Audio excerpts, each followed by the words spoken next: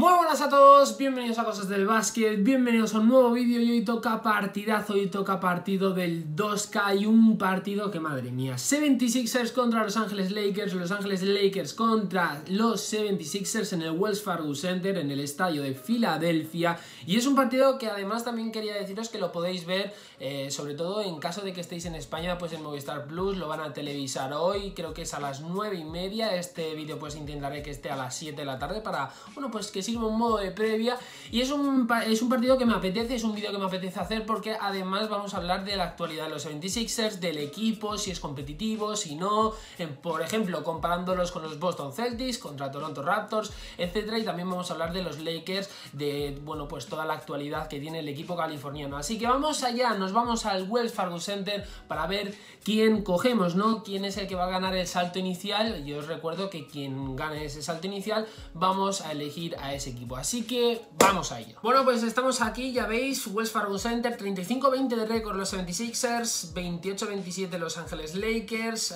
Julius Erving, Bob Jones, Maurice Chicks, Allen Iverson, algunos de los jugadores, pues leyenda, ¿no? De, de, este equipo que creo que tenía tres anillos, tres anillos. Uno lo ganó con Julius Erving, Moses Malone, y la última final eh, la jugaron en el año 2001, aquel equipo de, Allen Iverson, ¿no? Allen Iverson, Dikembe Mutombo, que se enfrentaron precisamente a Los Ángeles Lakers de Shaquille O'Neal, Kobe Bryant, realmente pues eh, fue unas finales que tampoco tuvieron mucha salsa, salvo aquel primer partido en el que Allen Iverson hizo una exhibición. Ahí tenéis los quintetos iniciales, Rayon Rondo, Brandon Ingram, LeBron James, Kyle Kuzma, Jabal McGee, frente a Ben Simon, Gigi Redick, me lo sé perfectamente, Tobias Harris, Joel Embiid. Bueno, pues aquí tenemos ya, vamos a ver el salto inicial, vamos a ver a quién manejamos, los 76ers o los Ángeles Lakers.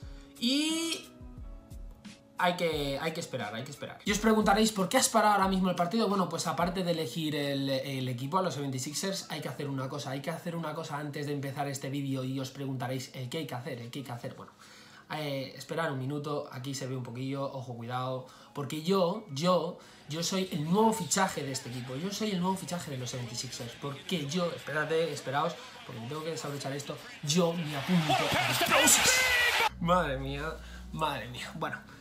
Vamos allá, me quito esto, vamos con los 76ers, vamos a ver, ahora sí que sí, vamos al partido. Bueno, pues empezamos con Ben Simons atacando, vamos a ver si podemos meter la primera canasta, que siempre pues es importante, golpear primero, bueno, falla, rebote de LeBron James. LeBron James hay que defenderle bastante bien, es la clave del partido prácticamente, porque de jugar contra LeBron James en el 2K es muy complicado. Es muy complicado, prácticamente te mete casi todas las canastas, le puntes o no, eh, prácticamente te mete todas. Vamos a ver, ya nos ha hecho el lío. Ojo, 3 contra 1, vamos a ver 3 contra 1, cazado LeBron James, cazado LeBron James, vamos a ver con Jimmy Butler esa contra. También es muy importante las transiciones rápidas y eh, uno de los puntos clave, vamos a ver el triple, triple, triple de JJ Reddick, vale. Como os he dicho, empezar anotando nosotros es muy importante. Es muy importante porque creo que va a ser un partido con mucha puntuación por parte mía y de los Lakers y primera canasta de LeBron James. Entonces, empezar golpeando primero es muy importante.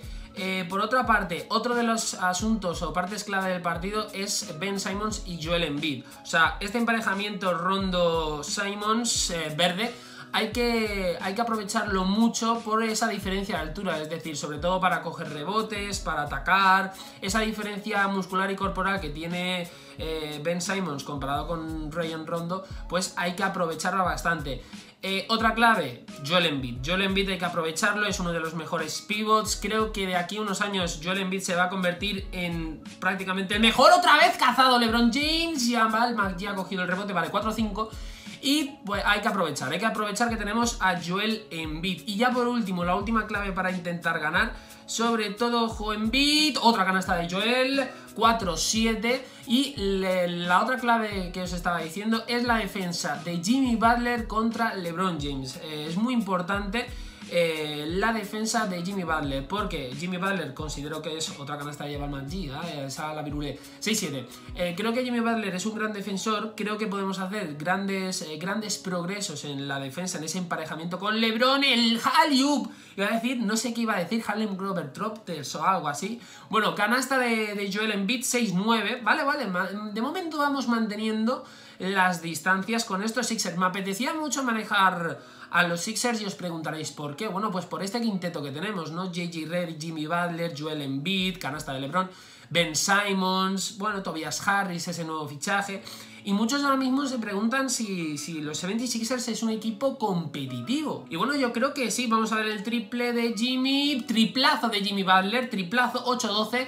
Siempre que metamos, o sea, que aprovechemos esos triples, pues bueno, eh, sin cubrir nadie, hay que, hay que meterlos, hay que aprovechar porque, bueno, pues Los Ángeles Lakers tienen buenos tiradores. Sí que es cierto que esta temporada no están rindiendo desde la línea de 3 muy bien. Obviamente, pues eh, eso lo podemos ver en los eh, traspasos que han querido obtener, como por ejemplo Muscala, etcétera.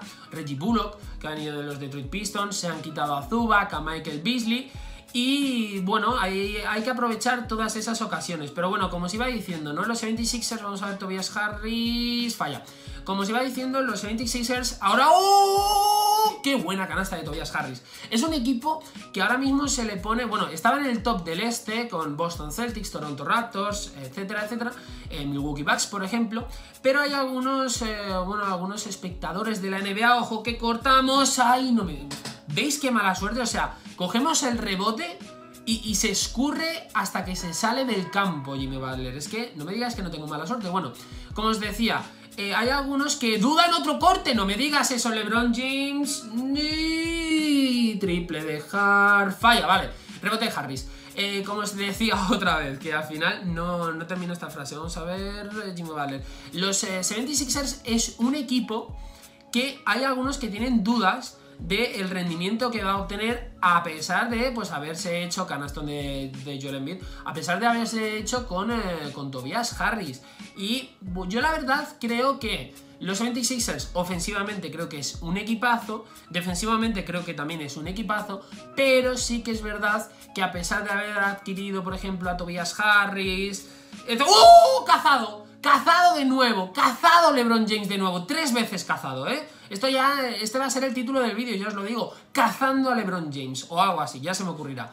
Pero, lo que decía, volviendo al tema, creo que los Sixers es un equipo no tan completo como otros. Y os preguntaréis, ¿cuál, eh, por ejemplo, es un equipo más completo en el este que, por ejemplo, los 76ers? Pues para mí, más completo, por ejemplo, son Boston Celtics y más completo también son sobre todo los Toronto Raptors. ¿Por qué? Porque Toronto Raptors ahora mismo pues eh, creo que tiene un balance, sobre todo con la llegada de Margasol, aunque se haya ido Valanciunas, pues sí que es verdad que siguen teniendo a Kyle Lowry, que tiene, pues bueno, tiene, no es, uno no es un base que va a ser aquí de los mejores de la historia, pero es un muy buen base. Tienes a, a Kawhi Leonard que ofensivamente, bueno, Kawhi Leonard creo que representa lo que es este año Toronto Raptors, es decir, eh, es un eh, jugador muy, muy equilibrado, tiene un buen balance tanto en la ofensiva como en, el aspecto defensivo, se asemejan perfectamente. Con la llegada de Margasol es prácticamente lo mismo. Margasol, eh, que ha sido, fue en el pasado eh, mejor defensor del año, el jugador, eh, bueno, pues el mejor defensa de la liga, durante un año creo que fue, y bueno, realmente es de los mejores pivots ahora mismo que hay. Yo creo que, bueno, para gustos, colores, ¿no? Hay algunos que ponen a Marcus Cousins por encima, otros ponen a Margasol, otros pondrán, por ejemplo, a Joel Embiid, pero creo que es uno de los mejores pivots de la liga. Va muy bien tanto en el ataque como en la defensa. Ojo, con el salto entre dos. A ver, la ventaja la va a tener Reggie Bullock. Creo que la ventaja... Uh, ahí, eh. McConnell, cuidado aquí. Los Sixers de los Bad Boys. Vamos a ver si ganamos el salto inicial. ¡Oh! Lo hemos ganado, lo hemos ganado. Vale, 14-16. Vamos a ver. Vamos a seguir con este tema. Eh, un momento, 12 segundos. A ver si metemos para finalizar este primer cuarto la canasta. Canasta. Vale, canasta. 14-18. Eh, Buen parcial de 4 puntos de diferencia. Vamos a ver si no la mete Lebron. No, no. Uf, uf. Bueno, bueno. Pero bueno, como os decía, ¿no? Yo creo que Toronto tiene ese balance ataque-defensa pues más equilibrado que, por ejemplo, los 76ers. Y Boston Celtics más de lo mismo. Creo que Boston Celtics al tener a Kyrie Irving, que va muy bien en el ataque, Marquise Morris, que va muy bien en defensa. ¿qué ha pasado? Va muy bien en defensa. Terry Rozier, que va bien tanto en defensa como en ataque. Eh, por ejemplo, Marcus Smart, otro de los jugadores que, como siempre digo yo, se encarga del trabajo pues sucio, menos vistoso, que en la ofensiva va bien, la verdad, va bastante bien, y en la defensiva, eh, en el aspecto defensivo, es un portento. Y luego, bueno, pues tiene a Taze, tiene a otros jugadores que te pueden aportar, a Horford también, que va muy bien en ataque y en defensa.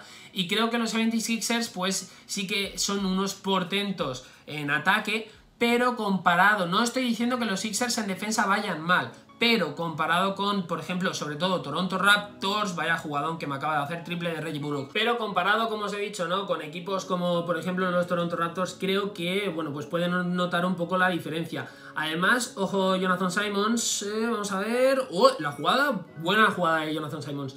Además, también otro de los aspectos clave que me gustaría ver, sobre todo este año de los 76ers, con todo este equipo que tienen, es eh, cómo va a influir la llegada de Jimmy Butler y Tobias Harris en el equipo en playoffs. Es decir, ya sabéis que los Philadelphia 76ers es un equipo que el año pasado, sobre todo contra los, eh, bueno, pues contra los Boston Celtics, sí, contra los Boston Celtics, fue un equipo que... ¡Uh! Madre mía, Ennis, 2 más 1, falta de LeBron James. Los Sixers eh, el año pasado fue un equipo que, bueno, pues la verdad es que pudo hacer bastante daño a Boston Celtics, pero yo creo que le lastraron mucho la toma de decisiones. No sé si os acordáis de pues aquel, eh, aquel saque de banda eh, que JJ Reddick pasó a Ben Simons. Ben Simons finalmente no se esperaba el pase, le dio la espalda, recuperaron los Boston Celtics. Luego otro partido en el que tiraron el confeti y realmente era un tiro de dos y no fue un tiro de tres, aunque la estrategia de los Era meter un triple de, con JJ Reddick. Entonces, todo realmente creo que eh, hay una diferencia, verde de, verde de Amir Johnson, eh, hay una diferencia en cuanto a la madurez, es decir, los Sixers no, no, dejan de ser un equipo joven, todavía Ben Simons creo que le falta un poco de maduración en el sentido, sobre todo en playoffs, por ejemplo el año pasado le vimos muy desaparecido, Joel Embiid creo que tuvo un rebote sobre todo, no sé si en el quinto partido o en el sexto, en el que realmente fue muy importante que no cogiese el rebote, creo que se le escapó por, por banda o por la línea de fondo, no, no, me acuerdo muy bien, creo que además fue en el TD Garden. Entonces eh, creo que eh, los Sixers dependen mucho sobre todo de Ben Simons y de Joel Embiid, más que por ejemplo de Jimmy Butler o por ejemplo, pues yo que sé, de Tobias Harris, ahora que, que ha llegado Tobias Harris a los Sixers. Entonces, dependiendo de cómo, eh, de cómo esté Ben Simons o Joel Embiid, van a estar los 76ers más allá de estrellas. Y además creo que los 76ers están pues apostando un poco más eh, sobre todo por el nombre. Es decir, Tobias Harris es un jugador que, como ya os he dicho, me encanta. Además, el triple fallido de LeBron James. Además, Tobias Harris es un eh, jugador que está haciendo un temporadón este año. Ya lo hemos visto con los Ángeles Clippers. Y es un refuerzo de oro, ¿eh? Ojo, no estoy diciendo nada. Vamos a ver. Ojo, 2 más 1 de Ben Simons, falta de Ingram, creía que había sido de Lebron. Falta de Ingram, vamos a ver eh, si metemos ese tiro libre. Vale, canasta y on fire Ben Simons. On fire Ben Simons, 22-31. Entonces lo que digo, creo que los Sixers eh, están apostando un poco más por ese renombre, por tener, por ejemplo, pues a un jugador como Tobias Harris, que está obteniendo un nombre en la liga, pero también creo que puede ser un proyecto no fugaz, pero peligroso. Es decir, si los Sixers, por ejemplo, este año fracasan y no llegan a las finales de, bueno, pues de conferencia este, vamos a ver qué pasa con el proyecto, vamos a ver qué pasa con Tobias Harris, vamos a ver qué pasa con Jimmy Butler, ¿no? Tobias Harris también hay que recordar que era un jugador que, quiere, que quiere más dinero, que quiere, creo que, optar al máximo.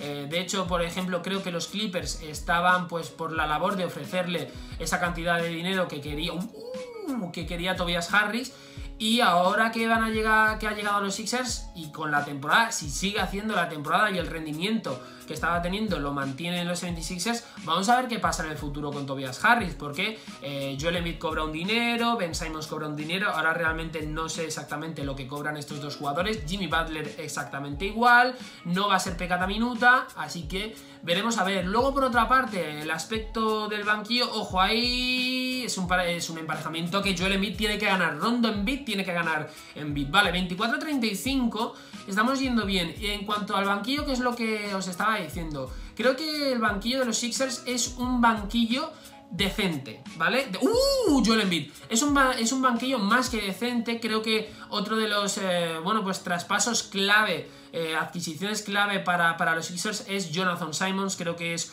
un jugadonazo. Creo que es un jugador que puede aportar bastante a los Sixers desde el banquillo. Creo que, pues bueno, aporta mucho sobre todo en ese aspecto defensivo. Yo creo que es un jugador, ojo el triple, Jimmy Butler se escapa. Es un jugador que puede pues, ofrecer bastantes cosas a los Sixers. A mí es un jugador que me gusta bastante. Y bueno, y vale, falla Rondo. Y creo que, bueno, pues el banquillo es decente, es decente. Puede ser mejor, siempre se puede mejorar. Pero creo que, bueno, pues está bien. Pero ya os digo, si lo comparamos con, ojo, ojo el triple... Bueno, me digas, ha fallado Gigi Redick, vale, último minuto, y ya para finalizar, eh, lo, que, lo que os decía, creo que, por ejemplo, banquillo de, Toronto Raptors, pues a lo mejor puede ser un pelín superior, pero ya os digo, creo que Toronto está un, la mitad de un escalón o un escalón por encima de los Sixers en ese sentido, porque eh, en el, eh, tienen un balance defensa-ataque muy, muy a favor, falta de rondo sobre Embiid, y creo que pues eso puede ir en contra, por ejemplo, de los Sixers en el caso de que, bueno, pues se topen un, eh, enfrentamiento finales de conferencia Toronto Raptors, Philadelphia 76ers. Es que el Toronto hay que recordar que tiene Kawhi Leonard, Danny Green, Margasol, Kyle Lowry, Serge Ibaka, que también Serge Ibaka es un jugador que puede aportar mucho en ataque y en defensa. Lo mismo que Kawhi Leonard, como he dicho, lo mismo que Margasol. Kyle Lowry creo que puede aportar un poco más en ataque que en defensa, pero bueno, más de lo mismo, otra vez cazado Brandon Ingram. Ojo, vamos a ver ese, vamos a la liup. Siempre el 2K me hace lo mismo, siempre el 2K me hace lo mismo, es decir, cojo, eh, le, lanzo la liup a un pivot o al que sea, y si no es así muy, no sé, es que tiene que ser un Dominic Wilkins, un Vince Carter para que me cojan los aliupes, que no lo entiendo. Bueno, a lo tonto Joel Embiid, aunque haya fallado, no haya cogido ese balón, eh, ojo el triple. No, no, no, no, no. Triplazo de Josh Hart. 29-37. Vamos a intentar meter la última canasta con McConnell. No, Butler. Pero bueno, ya estamos en el tercer cuarto. Hablado ya el tema de los 76ers, que como os he dicho, creo que, ya para cerrar el tema, creo que es un equipazo. Es uno de los mejores equipos. Ofensivamente creo que es el mejor, no el mejor, porque el mejor son los Golden State Warriors, pero está entre los eh, cuatro mejores, tres mejores, vamos, con toda tranquilidad, equipos ofensivos de, la liga. Jimmy Butler, falta, lo sabía, 2 más 1, falta tercera falta de LeBron James. Ojo, porque aquí veo, ¿os acordáis de ese partido entre Detroit Pistons Pelicans en el que expulsamos, bueno, expulsamos, secamos a Anthony Davis? Creo que a LeBron James este partido no le vamos a secar, pero ojo que le podemos intentar eh, que le expulsen. Vamos a ver, ojo, Kuzma. Y bueno, hablando de, los Lakers, otro tapón cazado, Rayon Rondo. Ojo, creo que se ha marcado dos tapones eh, Jimmy Butler. Ojo, Simons. No me voy a tirar un triple con Simons ni de coña. Ojo la jugada. ¡Uy! Digo, madre mía, el jugador. ¡Oh! ¡Qué robo! ¿Eh? ¿Habéis visto cómo Ben Simons ya la roba sin querer? Ojo, vamos a ver Tobias Harris. Vamos a intentar, como os digo, aprovechar esa diferencia muscular entre Ben Simons, Ryan Rondo, Reddick, Reddick Simons. Vamos. Ojo ahí. Vamos ahí. Ojo, ojo, lo tenemos. Canasta de Ben Simons. Ben Simons está jugando bastante bien. Bueno, 29-41, 11 puntos, 5 de 8, más 15 en el de ventaja, más 15 los Sixers con Ben Simons en la cancha. Bueno, hablando de los, de los Lakers, ¿qué ha pasado, no? Anthony Davis, tal. A ver, yo os quiero decir una cosa, veo mucho ambiente de, no sé si pesimismo en, Los Ángeles Lakers, por todo lo que ha provocado y el traspaso eh, fracasado de... No me digáis. El traspaso fracasado de Anthony Davis. A ver, ha provocado muchas más cosas negativas que positivas. No vamos a comentar el mate que me acaba de hacer Jabal Maggi porque creo que es eh, indecente, ¿vale? Pero bueno, volviendo al tema de Anthony Davis. El traspaso de Anthony Davis, vamos a ver, ha estado rodeado de muchas cosas raras. Quiero decir, Cuando yo, por ejemplo, hice el vídeo de aquel emoticono de, pues bueno, de, de los Pelicans, no sé si os acordáis, el emoticono ese del anteojo. Y a partir de ahí los Pelicans empezaron a subir un montón de emoticonos, que si un semáforo, que si un GIF, vaya tapón que me ha hecho el Kuzma, que si un GIF de, un bebé dando un susto o algo así, vamos a ver en bit, otra canasta en bit, vale, 33-43 más 10 en el marcador.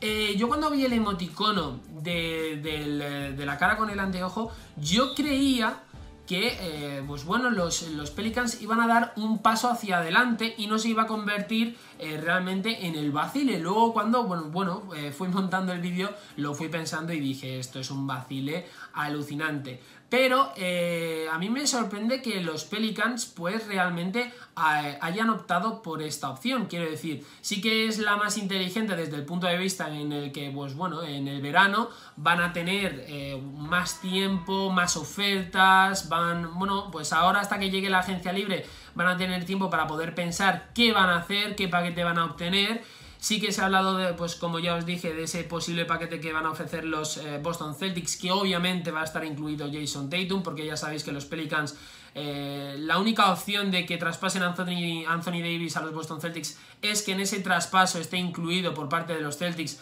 a Jason Tatum. Vaya canasta, no me digas que has fallado eso, Jimmy Butler. Está incluido eh, Jason Tatum. Y obviamente pues ya se ha hablado de ese, de ese posible paquete que los Celtics ofrecerían y Jason Tatum está incluido. Pero aún así veremos a ver qué pasa, porque a medida que vaya pasando el tiempo, llegue el verano, eh, se ha hablado de que los Lakers, el paquete que han ofrecido de todos los jóvenes, no lo, van a, no lo van a volver a ofrecer.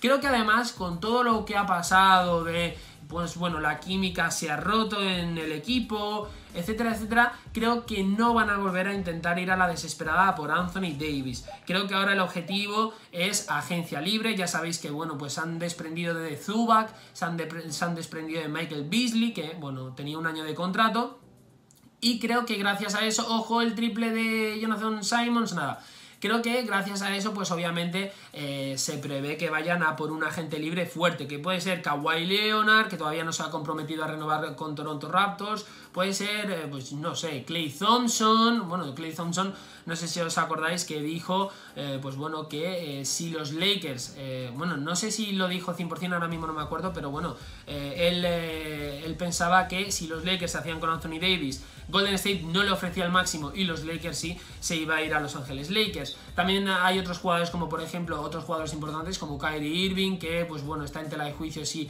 fichará o si renovará mejor dicho o no con Boston Celtics. Está el propio Kevin Durant que yo creo que prácticamente está al 80-85% a favor de que se lo lleven los New York Knicks. Entonces, eh, y sobre todo más con todo lo que ha pasado, es decir, que los Lakers ahora no se van a volver a arriesgar a intentar eh, conseguir, eh, sea cueste lo que cueste, Anthony Davis, teniendo un equipo que como ya os he dicho, yo creo que los Lakers es un equipo que estaba funcionando muy bien hasta la lesión de, LeBron James en Golden State Warriors, que estaban siendo pues, eh, estaban entre los 4 o 5, vaya chufla me entre los 4 o 5 mejores equipos de la conferencia oeste en cuanto a récord, posición en conferencia, estaban en playoffs, que era el objetivo prácticamente de este año de los Lakers, estaban funcionando bien, sí que es verdad que tenían unos antibajos en los tiros libres, pero estaban funcionando bien, sobre todo en el aspecto ofensivo e defensivo, lograron poner fin a esa racha de, no ganar a, Portland en, en, su propio estadio, creo que era. Eh, entonces, yo la verdad creo que los, eh, los, Lakers lo estaban haciendo bastante bien hasta la lesión de LeBron James. Sí que es verdad que a partir de esa lesión, pues los Lakers han eh, estado muy mermados, han notado mucho la baja de su jugador franquicia y creo que también pues Luke Walton eh, no ha estado 100% a la altura de lo que es, bueno, intentar sustituir a LeBron James. Ojo que también estoy, me estoy liando a hablar y fijaos, 44-43 me han remontado los Lakers eh, teníamos, creo que hemos llegado a tener una ventaja de 10 puntos y ni me he dado cuenta, o sea, acabo de mirar el marcador, voy 44-43, estoy flipando y me queda un cuarto que se me va a hacer súper largo, pero bueno... Hablando ya para finalizar y ya centrarme en el partido, vale, Scott Canasta 44-45, nos volvemos a poner eh, por delante en el partido. Pero bueno, para finalizar el tema de los Lakers, yo creo que, eh, tienen un equipo muy suculento, creo que tienen un grandísimo base como es Rayon Rondo, creo que eh, Kyle Kuzma es un jugador que lo deben de mantener y las cosas pasan por algo, si realmente los Pelicans no han querido a Anthony Davis traspasarlo a Los Ángeles Lakers, verde con Jimmy Butler, no lo han querido traspasar y al final los Lakers han quedado con los jóvenes, Lonzo Ball, Josh Hart, Kyle Kuzma, Brandon Ingram, es por algo, creo que Kyle Kuzma no lo deben perder los Lakers porque es un anotador compulsivo, creo que es un jugador muy bueno que le puede aportar muchas cosas de futuro a Los Ángeles Lakers, Brandon Ingram prácticamente igual, tienen que explotar, hay jugadores que explotan tarde, no explotan a los 20 y pico, 25, 23, 24 años, a lo mejor explotan pues yo que sé, a los 26, 27, Brandon Ingram es muy joven y todavía tiene mucho baloncesto que dar, tiene un gran margen de mejora, no me puedo creer...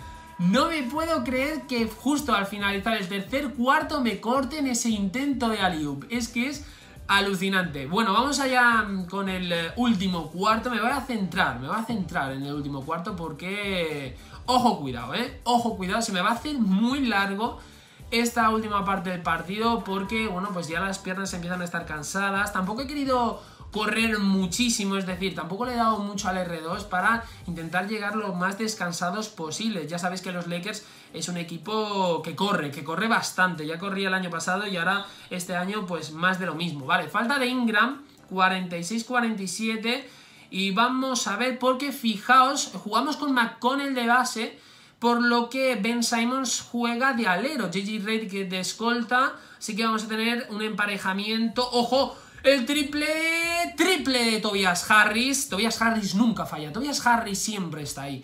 Entonces vamos a tener, ahí lo tenéis, un emparejamiento Ben Simons, eh, LeBron James, LeBron James del pasado con el LeBron James que se dice del futuro, vamos a ver, ojo con Zion Williamson también, que se dice que es el nuevo LeBron.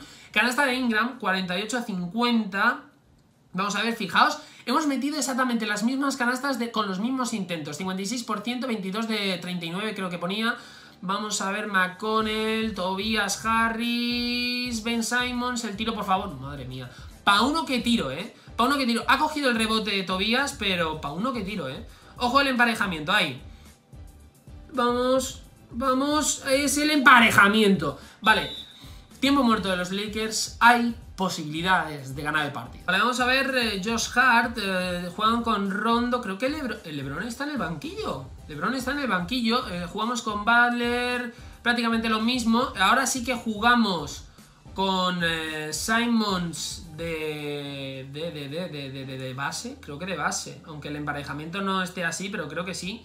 Ojo Kuzma, cuidado Hart que está en la esquina, vale, falla, rebote Harris, mientras fallen los Lakers y nosotros metamos las canastas a la contra, canasta de, eh, de Simon, iba a decir, canasta en beat, 48 a 54, vale, vamos bien, eh, vamos a ver Rondo, si siguen fallando los Lakers, entran en una racha negativa y nosotros vamos metiendo ahí puntito a puntito a puntito, vamos bien, vamos bien, o sea, tenemos un colchoncito triple fallido, vale, rebote de Embiid, Ojo Tobias Harry, Jimmy Butler, hay que meter esa canasta.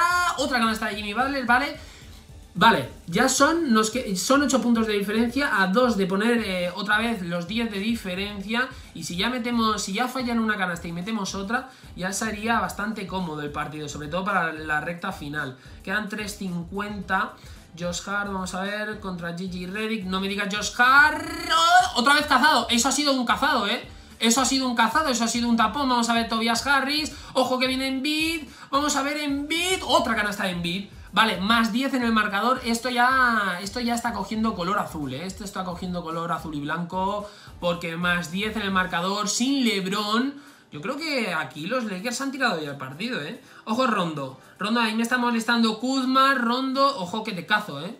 Te cazo. ¡Oye! ¡Cazada! No ha sido cazada, pero ha sido robada, vale. Ojo, Jimmy Butler. Otra canasta. Otra canasta en beat. Otra canasta en beat. Otra canasta en beat, ¿eh? Otra canasta en beat. Madre mía. Vamos a ver The Process. Trust the Process. Ojo, Rayon Rondo. 48-60. Vamos a ver. Hay dos jugadores que he visto que están ya preparados para entrar por el bando de los Lakers. No he visto quiénes son. Ojo. Bah, canasta fácil. He defendido muy mal, he defendido muy mal. Vale, son más 10 otra vez. Ahora hay que mantener esa distancia. Vamos a ver, ojo Simons. Vale. Me haces un mate fácil, yo te hago un mate fácil, sin, sin problemas. Hemos contestado bien, ahí con potencia, con decencia. Fijaos, eh, esta noche lleva Ben Simons 15 puntos, vale. Más 12 en el marcador, ojo Butler, Ingram... Muscala, Muscala emparejado con, con Simons y otra... ¡Uh! Lo que ha fallado Brandon Ingram. Estos son los nervios, ¿eh? Esos son los nervios. Ojo Ben Simons, ese emparejamiento con Rondo que tanto me gusta. Vamos a ver... Ojo ahí, ese emparejamiento... Joel Embiid. Ojo, ojo con Embiid que rompa a Muscala. ¡Ojo con Embiid que rompo a Muscala! No sé si hace esto Embiid o hace esto, pero ahí está, ¿eh? Ojo, cuidado, vamos a tirar el tiro libre. 2 más 1, ojo porque 50-65 más 15 en el marcador, esto prácticamente ya está cerrado, 2-20 para el final del partido. LeBron James que vuelve a entrar, pero bueno, yo creo que prácticamente como me remonten en 2 minutos 15 puntos, eh, o sea, yo ya me voy de la vida, yo, no digo nada, pero me voy de la vida. Ojo Brandon Ingram, Brandon Ingram... Están buscando a LeBron, eh, fijaos. Otro emparejamiento que no me gusta nada ese emparejamiento LeBron y... Uh, JJ Redick ha intimidado a LeBron James. Yo no digo nada, pero JJ Redick ha intimidado a LeBron James. Ojo Ben Simons, otro emparejamiento. Uy, Joel. Como meta otra Joel, como meta otra Joel en a tablero. Uy, si mete esa tablero. Vale, 50-65, 1-40. Esa va a ser fácil para LeBron. Vale, 52-65. A mí esto ya me da igual. Ojo Tobías. Ojo Tobías. Ojo, Tobias Harris, vale, 52-67, esto prácticamente ya está hecho. Creo que, el, no sé, ahora mismo no me acuerdo cuál fue el último partido que hicimos en el canal, creo que lo perdí. Es que tengo todo, el rato en mente la derrota que tuve con Denver frente a Toronto Raptors, lo tengo en mente y no sé por qué. 52-67, vamos a ver, 1-33, Kuzma, Rondo. Rondo Lebron, van a buscar a todo el rato a Lebron, es que lo tengo yo más claro, pero vamos, clarísimo. Incluso a Brandon Ingram, fijaos. ¡Ojo! Uy, a punto de, cazarle con JJ Redick, vale. Joel Embiid, Simon, Joel Embiid otra vez... Y nada. 52-67, 1-16, tampoco me importa mucho ahora ya el fallar los tiros porque realmente fijaos, es que ya está en modo Iceman, pero Iceman a favor no, Iceman en contra que el Kuzma, está helado, está frío y vamos a ver, eh, Ingram. No me la líes, ¿eh? No me la líes. Jabal McGee. Jabal McGee, Lebron, Lebron de 3 a la desesperada, que falla otro rebote de Joel Embiid, que se está inflando las estadísticas en, este último cuarto, se ha inflado. ¡Ojo! Uy, Joel. Uy, Joel que... Uh, a punto de perderla. Vamos a ver. JJ Redick. Ojo, Simons. Ojo, joder, Simons. Simons, tengo ese lío otra vez eh, fallido por parte de Embiid. 39 segundos. La victoria la tenemos. La victoria la tenemos, vuelve a meter Ingram. Vamos a intentar contestar, hombre, vamos a intentar llegar a los 70 puntos. Vamos a intentar contestar. Ahí, fijaos, tres cambios por parte de cada uno de los equipos. Obviamente, vamos a ver. iba a decir, vamos a quitar el mayor tiempo posible, pero es que ya realmente hemos ganado falta de rondo. Falta de rondo. Y ahí está Kentavious Catwell Pop, McConnell, ya prácticamente los minutos de la basura, bueno, prácticamente segundos. Ennis, Amir Johnson... Prácticamente es que no tengo ni idea. Ojo, Jonathan Simons, el triple. Falla Jonathan Simons, 12 segundos, 11, 10, Bullock... Mm, la van a tener el último ataque. No me gusta que el último ataque lo tenga. ¡Oh, oh! ¡Ojo, cuidado! Scott, Jonathan Simons, nos la vamos a jugar dos segundos. ¡Un segundo! ¡Me la tiro! ¡Uh! De dos, de dos. No ha sido de tres, pero ha sido de dos, pero lo he metido. 54-69 ha entrado, ¿eh? Ha entrado Jonathan Simons, buah, trust the process. Trust the process. Y bueno, ya habiendo terminado el partido, fijaos en Bid, 21 puntos, 5 rebotes, un robo, 2 tapones, no está nada mal, 9 de 13 tiros de campo, 3 de 3 en tiros libres, la verdad es que ha jugado muy bien. Ben Simons, 15 puntos, 3 rebotes, un robo, un tapón, una pérdida, bueno, 7 de tiros de campo. Y Jimmy Butler, 9 puntos, 3 rebotes, 3 asistencias. Tobias Harris ha estado ahí, ahí también, los 4 mejores de los Sixers han sido los nuestros. Ahí he visto un 1 de 4 en triples. Y ahí están los Lakers. LeBron James, 19 puntos, 4 rebotes, 3 asistencias, 3 robos. Brandon Ingram, Josh Hart. Ahí estoy viendo a Jabal McGee. Brandon Ingram y Josh Hart han metido 8 puntos cada uno. Bueno, decente. Ha estado, ha estado decente el partido. Así que bueno, este ha sido el partido. Han ganado los Sixers. Hemos controlado al, bueno, pues a los Philadelphia 76ers 2.0, como algunos le llaman, con esa llegada de Tobias Harris. Y nada más, espero que os haya gustado el vídeo, si os ha gustado darle like, suscribiros, comentarme quién creéis que va a ganar el partido de esta noche, los Lakers o los 76ers. Eh, Comentarme si opináis lo mismo que bueno he opinado yo sobre estos 76ers, ese balance ataque-defensa, si es mejor o no eh, que por ejemplo otros equipos del este como, pues yo que sé, Boston Celtics, Toronto Raptors. También comentarme qué opináis sobre el asunto de los Lakers, la química rota por el asunto Davis, etcétera, etcétera. Comentarme lo que queráis. Y os espero en próximos vídeos aquí en Cosas del Básquet. Adiós.